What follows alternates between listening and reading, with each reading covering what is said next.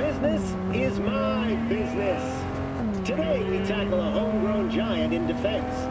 You guessed it, Militech. At first glance, Militech's portfolio looks gold-plated. Half a million employees worldwide, profits in the hundreds of billions, capitalization on the order of some two trillion. But do we accept these jaw-dropping numbers as the product of healthy competition?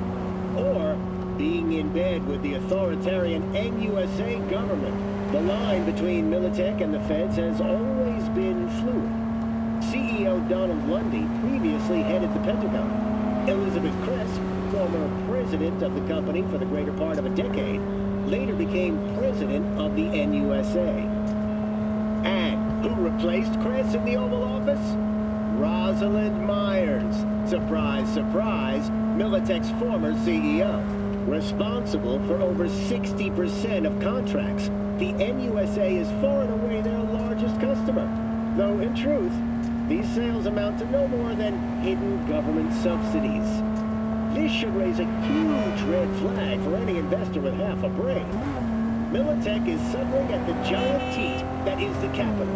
But should Washington ever run dry, kablamo! Want my recommendation?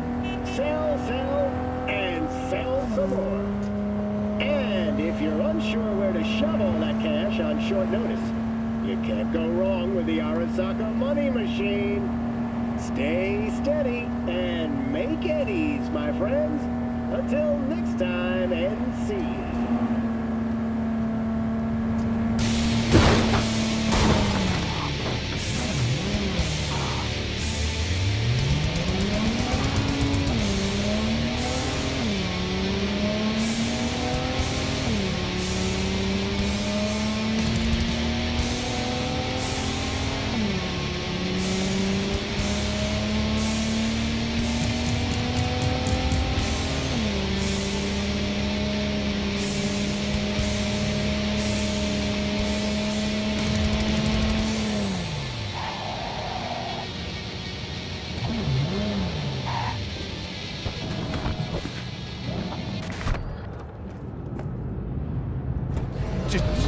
Stay calm. Please. What's?